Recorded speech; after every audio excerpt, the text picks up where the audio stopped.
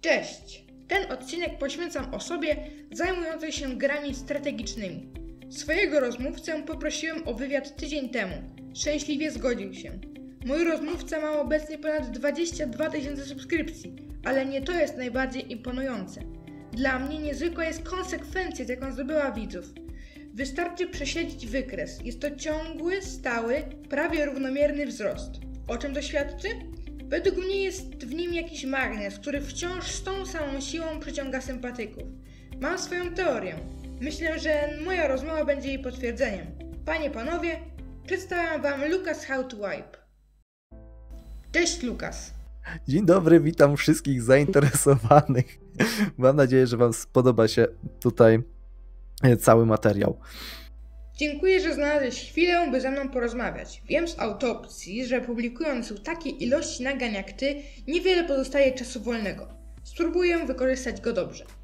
Zauważyłem, że na swoim kanale masz etapy nagrywania gier. Pewien dłuższy okres nagrywasz wyłącznie strategię, by następnie skupić się na grach akcji. Czy jakoś to kontrolujesz? Mm, Nie, bardziej to było coś takiego, że próbowałem kiedyś odejść od strategii w ramach kanału i bardzo lubiłem historię z gier, w sensie przy grach RPG, żeby była jakaś fajna historia opowiedziana i zawsze chciałem przechodzić tą główną fabułę. No i bardziej to traktowałem jako poszerzenie działalności, ale obecnie to jeżeli idzie o działanie kanału na YouTubie, nie ma najmniejszego sensu, bo raczej ludzie przychodzą do mnie, żeby oglądać ewentualnie gry strategiczne, a głównie gry paradoksu. Więc wychodzenie poza ten tą dziedzinę, którą sobie już wybrałem, nie ma najmniejszego sensu. Zresztą to widać nawet po wyświetleniach tych filmów, że najczęściej tam sięgały maksymalnie 300 wyświetleń, gdzie w tym okresie porównawczym miałem po 4-5 tysięcy wyświetleń na film. Więc to jest totalnie bez sensu i ewentualnie teraz jak przychodzę sobie takie gry, to ich po prostu nie nagrywam, traktuję to jako totalny relaks dla siebie. Więc raczej takich gier już u mnie na kanale nie spotkacie. W jaki sposób cenisz gry? Mam na myśli, co sprawia, że pewna gra cię wciąga, a innymi się nie zajmujesz. Czy zależy to od scenariusza, grafiki, okresu w historii, w którym znajduje się gra? Jak to u ciebie działa? No, jakby miał się zastanowić, to raczej od tego, jak dużo rzeczy mogę zrobić w tej grze i na własny sposób, jak mogę wpłynąć na świat w tej grze. E, Czyli można powiedzieć, że jestem idealnym klientem niby survivali, w których mamy bardzo duży otwarty świat. E, Bo tak się właśnie zastanawiałem, dlaczego zostałem przy Grand Strategiach Paradoksu, czy mm, a odszedłem bardziej od RTS-ów. No i wydaje mi się, że to jest taka cecha, na którą najbardziej lubię, czyli właśnie jak bardzo mogę wpłynąć na ten świat gry. Lubię też dobrą fabułę w grach, ale też nie ukrywam, że bywa też czasem tak, że mechaniki, które są w grze, e, mnie wciągną. No, na przykład najlepszym, najlepszym przykładem jest tutaj e, Mass Effect Andromeda, gdzie fabuła, powiedzmy sobie szczerze, była co najmniej średnia, ale za to przyjemność z gry i mechaniki, które tam mieli, tak mi wciągnęły, że przeszedłem grę na dwa razy, po prostu bawiąc się różnymi mechanikami i tak dalej. W strategiach raczej jest to po prostu to, że mogę mieć jakąś cywilizację i wpływać na jej rozwój e, w czasie. E, Więc mówię, no to są elementy, które mnie najbardziej wciągają w grach. Czy zajmujesz się wyłącznie produkcją odcinków na swoim kanale, czy swój czas musisz dzielić na pracę czy naukę? No, znaczy z czasem się to zmieniało. E, obecnie jest to tak, że w zasadzie dzielę czas pomiędzy tylko pracę i kanał, no i wiadomo moją dziewczynę, plus znajomych, a wcześniej to różnie z tym było. Były okresy, gdzie musiałem dzielić pomiędzy naukę, pracę i tak dalej, i tak dalej. Zresztą w ogóle do zeszłego roku to ja raczej kanał traktowałem dość hobbystycznie, a dopiero od zeszłego roku do okresu do listopada bardzo poważnie podchodziłem już do tego, co też powinno być widać tam w materiałach, wyświetleniach i tak dalej, i tak dalej, ale obecnie to głównie, jednak głównie praca, bo zamykam firmę, e, e, tylko z tym dzielę. Naukę to może później, w międzyczasie. Czy twój zawód w jakiś sposób powiązany jest z aktywnością w internecie? Nie, totalnie nie. Do zawodu jestem księgowym i w zasadzie z wykształcenia no to finansistą, coś tam, nieważne.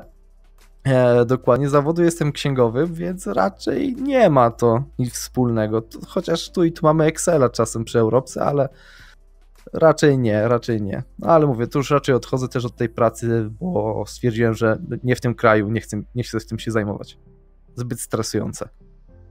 Publikujesz już od wielu lat, ale sięgając do początku, co było tym impulsem, że zacząłeś?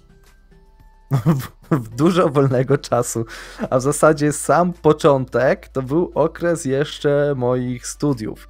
E, to był okres, gdzie dość sporo grałem w WoWa i po prostu doprowadzało mnie do szewskiej pasji to, że muszę po prostu co tydzień tłumaczyć jakiejś nowej osobie taktyki na rajdy, gdzie walczyliśmy z bossami i tak dalej, i tak dalej. A prowadziliśmy dość progresową gildię, więc to było dość upierdliwe i męczące, więc zacząłem po prostu tworzyć filmiki instruktażowe, jak należy się zachować po prostu na rajdzie, co trzeba się przygotować, jak wygląda taktyka na danego bossa. Zresztą te filmiki chyba są na kanale, albo może już je na prywatny przełączyłem, niewa nieważne. E, no i tam po prostu starałem się e, nagrywać i tłumaczyć tak poradnikowo E, bo po prostu nie chciałem się tłumaczyć po raz 50 taktyki na tego samego bossa co tydzień, więc e, to był taki impuls zaczęcia po raz pierwszy. Potem była jakaś taka krótka przerwa, z tego co pamiętam, może półroczna. I jakoś było tak, że właśnie miałem dość sporo czasu, pracę swoją pierwszą zaczynałem, taką już poważniejszą, no i się nudziłem wieczorami. E, więc po prostu jeszcze to był okres, w którym właśnie odkryłem Europkę czwórkę, dosłownie, coś więcej pogram i chciałem sobie po prostu spróbować, a może z tego coś nagram i tak zacząłem się jakoś z tym bawić i się to e, e, nagrałem, chwyciło i, i bardzo spodobała mi się komunikacja z widzami, dyskutowanie i tak dalej, i tak dalej. E, więc jakoś tak to się na samym początku zaczęło. Mówię, od WoWa do, do Europki się to przeszło. Czy masz jakieś plany co do swojego kanału, tak by nie zawieść wiernych subskrybentów, a jednocześnie cały czas być atrakcyjnym i nie popaść w rutynę? Mm, tak, mam plany. E, zresztą te plany zawierają się w tym, że właśnie zamykam swoją działalność i zaczynam się już nie od niedługo. Myślę, że tak końcówki marca, może gdzieś połowy kwietnia już totalnie zajmować tylko i wyłącznie YouTube'em. E, czy to wyjdzie, czy nie, to zobaczymy, co przyszłość e, pokaże. E, tak naprawdę. A co będę dokładnie robił? No to w zasadzie mogę że to co na streamach mówiłem, że właśnie częstsze streamy, znaczy inaczej, co dwa dni z możliwością wydłużenia nawet do 8 godzin te streamy by były, ale to jest na tym drugim kanale Lucas Live, bo to po prostu oddzieliłem.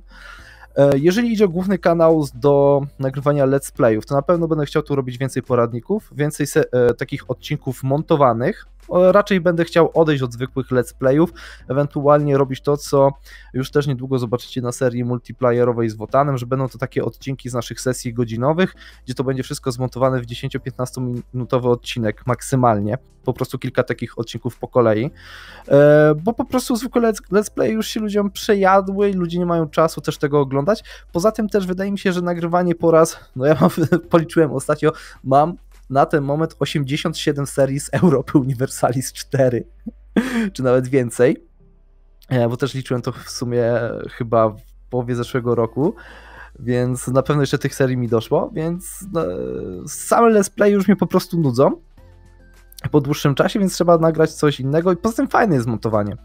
I tutaj jest coś takiego, co właśnie z Kałachem, jak e, był taki okres, że zaczęliśmy współpracować dość mocno po tych naszych multikach, doszliśmy do wniosku, że trzeba e, coś więcej e, dać od siebie, coś zacząć się więcej starać. No i Kałach miał na to więcej czasu. U niego widać, że to bardzo fajnie zapropsowało robienie materiałów montowanych, a ja dopiero będę miał, szczerze mówiąc, czas teraz w najbliższym miesiącu, półtora, e, żeby przejść na to, żeby się tym po prostu zajmować. E, więc w najbliższym czasie po prostu, no będzie po prostu totalna zmiana kanału, podejścia do kanału.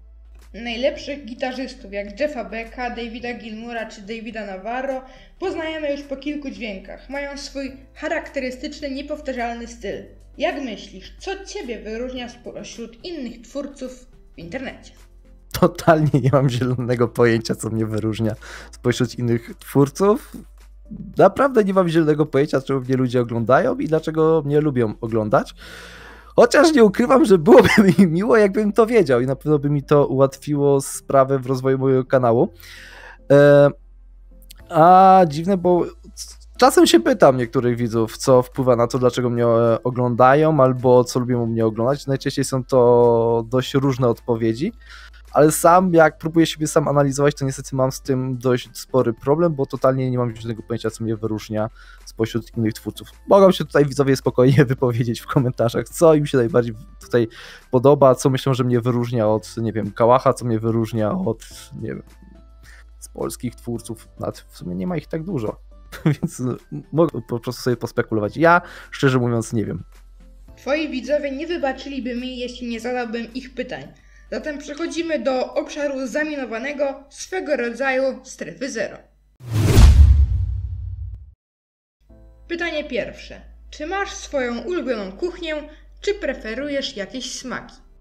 Pizzę z ananasem. nie no, tak na serio, bardzo lubię kuchnię indyjską e, oraz azjatycką.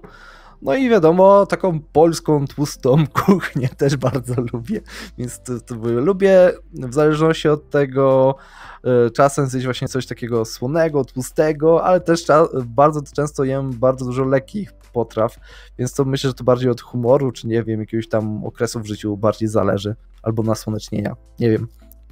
Ale moje głównie to jest u mnie ulubione, to jest kuchnia indyjska i azjatycka. Nienawidzę za to owoców morza. Bla. Jaką muzykę preferujesz? Czy w ogóle muzyka jest dla ciebie ważna w życiu?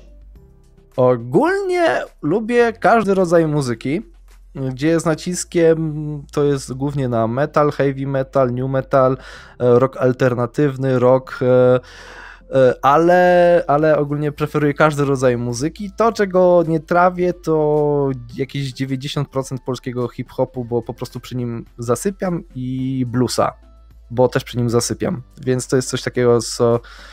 A, i reggae, bo też przy tym zasypiam. Ja lubię bardziej skoczne, żywe kawałki, takie, gdzie czujesz moc i tak, muzyka ma duży wpływ na moje życie, bardzo często i dość dużo słucham.